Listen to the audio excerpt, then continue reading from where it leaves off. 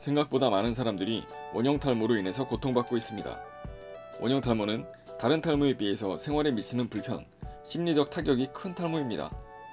다른 탈모증이 짧게는 수개월, 길게는 수십 년에 걸쳐서 서서히 진행되는 반면 원형 탈모증은 어느 날 갑자기 발견되는 경우가 많고 치료 또한 아주 난해한 탈모 증세이기 때문입니다. 일반적으로 잘 알려져 있듯 원형 탈모에 가장 큰 영향을 미치는 것은 스트레스입니다. 그러나 더 자세히 이야기하면 자가 면역 질환의 일종으로 볼 수 있습니다.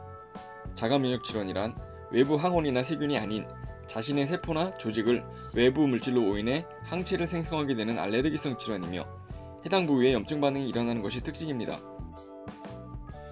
자가 면역 질환의 종류로는 루푸스, 크론병, 류마티스 관절염, 베체트병 등이 있으며 이제껏 밝혀진 종류만 80가지가 넘는다고 합니다. 자가 면역 질환은 대부분 그 원인이 불분명한 편이기 때문에 치료 또한 난해하고 난치성 질환으로 여겨지기도 합니다.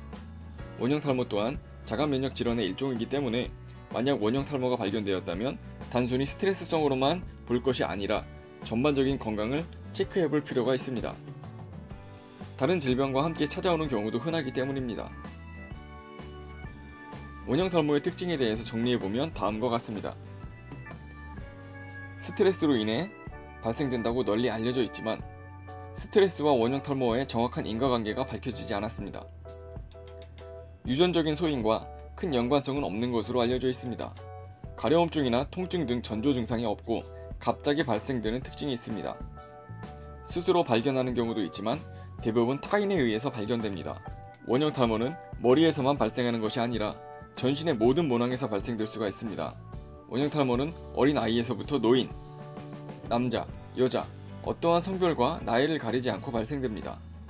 원형 탈모는 작게는 손톱만한 크기에서부터 전신의 모든 털이 빠져버리는 경우도 있습니다.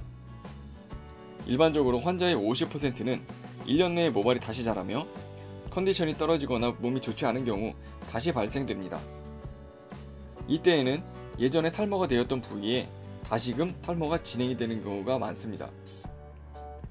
원형 탈모와 함께 손톱 성장의 이상이 발생될 수 있으며 머리가 날 때에는 하얀 모발이 나는 경우도 있습니다.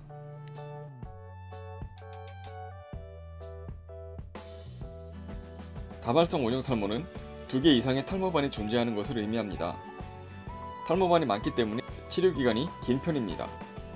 망상형 원형 탈모는 크기가 작으면서 모양이 뚜렷한 탈모반이 흩어져 그물망 형태를 보이는 경우입니다.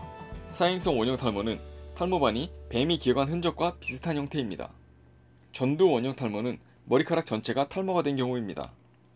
전신 탈모는 머리카락, 눈썹, 콧털, 수염, 채모 등 모든 신체 부위에서 탈모가 일어나는 증상입니다.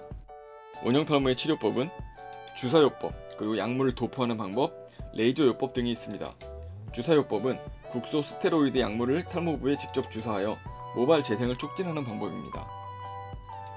약물 도포는 피부 표면에 가벼운 염증을 일으켜 면역세포가 모낭세포가 아닌 피부의 염증에 집중되도록 유도하여 모발 생성을 촉진하는 방법이며 이를 DPCP라고 이야기합니다. 레이저 요법은 레이저 광선을 주사하여 모낭세포의 염증을 일으키는 세포를 없애는 방법입니다. 원형 탈모는 유전과 관계없이 누구에게나 발생이 될 수가 있고 아주 흔한 탈모이기 때문에 쉽게 생각하는 경향이 있습니다.